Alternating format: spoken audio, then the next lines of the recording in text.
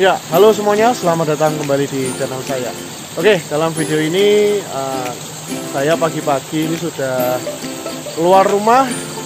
Saya lagi gabut teman-teman karena nggak bisa keluar jauh-jauh, jadi saya mau hunting kereta. Kereta apa itu? Kereta api Pandanwangi teman-teman. Dari stasiun Jember tujuan stasiun Ketapang. Nah, kalau kalian pengen tahu nih saya ada di mana, saya sedang ada di antara stasiun Kalisat dan stasiun Kotok ya dekat sekali sama stasiun Kalisat karena kalau ke arah sana itu ya ke arah sana adalah ke arah stasiun Kalisat itu ya teman-teman ya. Ke arah sana adalah ke arah stasiun Jember. Oke sebentar lagi kereta api Pandanwanginya akan lewat.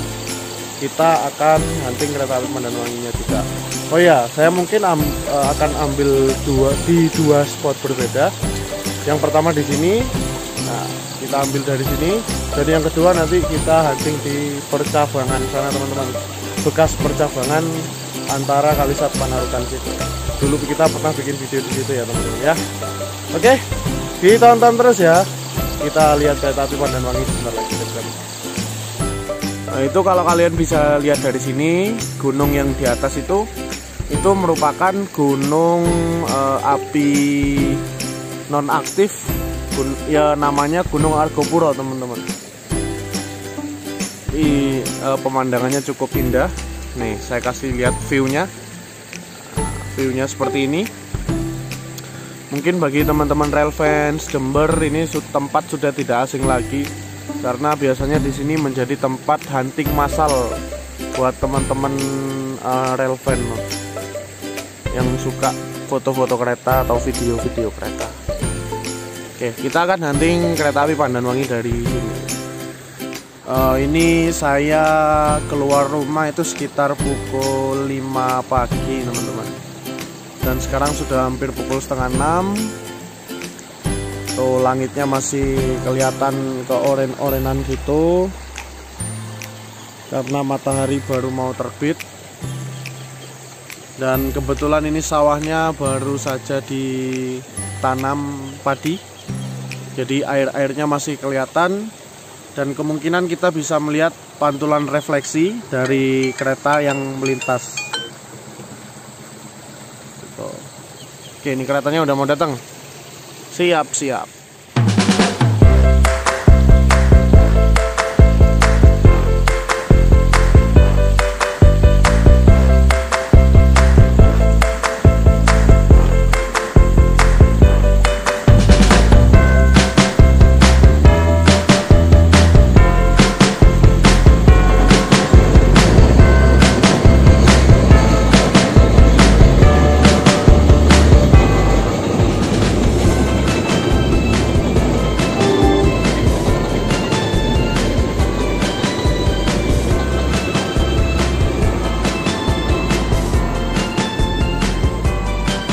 Oke, langsung saja kita akan berpindah spot teman-teman.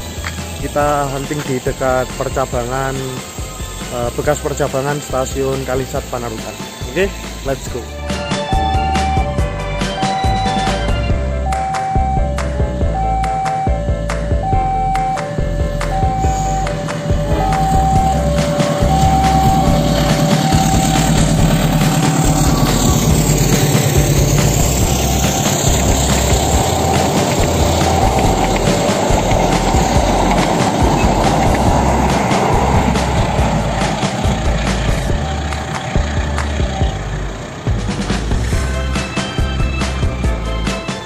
Ya oke teman-teman, untung waktunya keburu ya.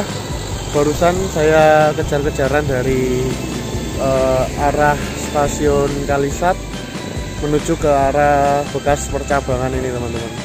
Oke, saya sudah pernah review jalur percabangan ini. Kalau kalian belum lihat videonya, nanti linknya saya taruh di deskripsi atau kalian bisa lihat di sini di pojok kanan atas ini teman-teman. Oke, nah, gitu. Oh ya, dengar-dengar setelah kereta api Pandanwangi ini ada kereta api luar biasa atau KLB yang mengangkut batu kericak atau bakri, teman-teman. Kita hunting di sini juga aja ya, oke? Jadi ditonton terus videonya.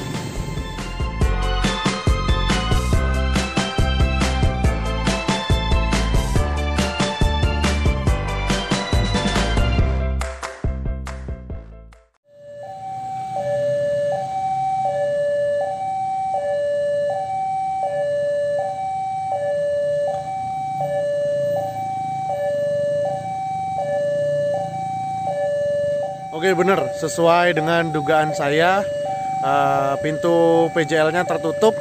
Kemungkinan besar ini adalah KLB Batu Kericak. Dari Kalisa relasinya nggak tahu ini ke arah ke arah Ketapang. Pokoknya uh, unloadingnya atau ngecernya itu di arah Ketapang sana teman-teman. Gitu. Entah di Kali Baru, di Kali Style atau di mana pokoknya arah timur. Oke, kita lihat sekarang.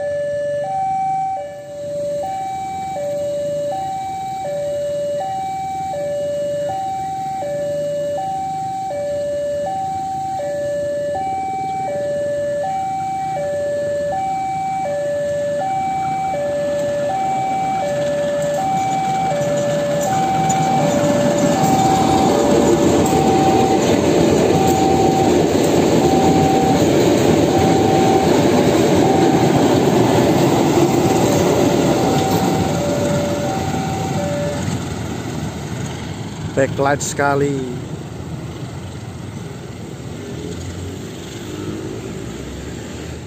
Ya oke okay, teman-teman. E, rencananya setelah KLB balas ini saya mau hunting kereta api Tawangalun kembali ke spot yang tadi yang pertama. Tapi kita ambil dari beda angle teman-teman. Angle-nya ya sebentar lagi kalian tahu sendirilah. Oke karena kereta api Tawangalun masih cukup lama jadi sebentar lagi saya mau pulang dulu. Uh, kemungkinan sekitar setengah jam lagi lah gitu. Karena rumah saya juga nggak jauh-jauh banget dari lokasi spot itu teman-teman. Gitu ya. Oke diikuti terus. Uh, jangan di skip videonya. Oke teman-teman kali ini saya sudah sampai di lokasi spotnya. Tempat saya akan hunting kereta api Tawang Alun. Ya, ini merupakan peta antara stasiun Kalisat dan stasiun Kotok. Kalau ke belakang sana itu ke arah stasiun Kotok atau ke arah stasiun Jember. Dan di sana adalah stasiun Kalisat, teman-teman. Oke.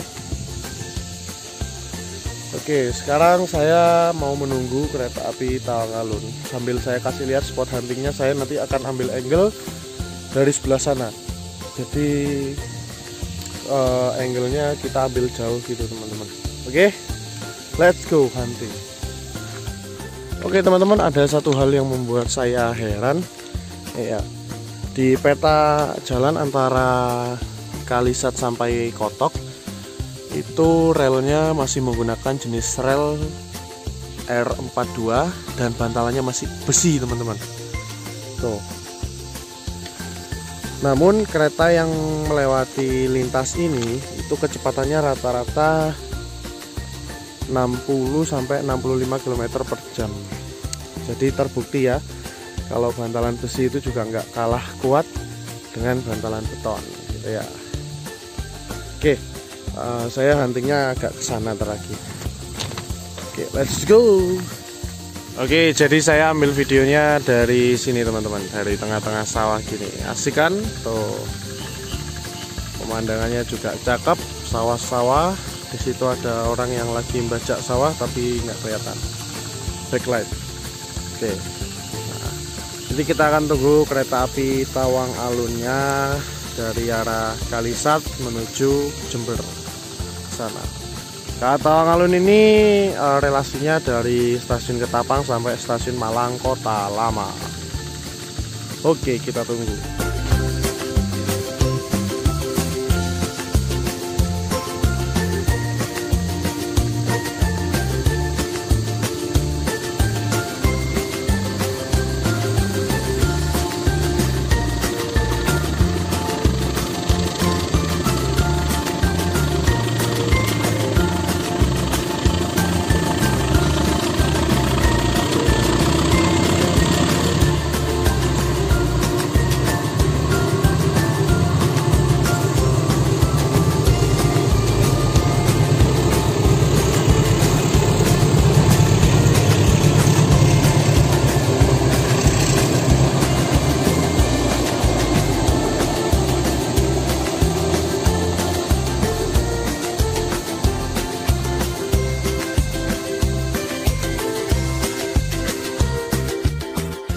Oke teman-teman mungkin video huntingnya pagi hari cukup sampai sini aja. Uh, lain kali kita lanjutkan hunting di spot-spot lain. Ya mungkin itu saja. Tadi kita udah dapat tiga kereta. Yang pertama Pandanwangi KLB Bakri dan Tawangalun. Ya jadi terima kasih buat kalian yang udah nonton video saya sampai selesai. Jangan lupa untuk klik tombol subscribe di bawah. Aktifkan lonceng notifikasinya. Jangan lupa juga untuk sertakan like share serta komen di bawah. Oke terima kasih dan sampai jumpa pada video selanjutnya. Bye bye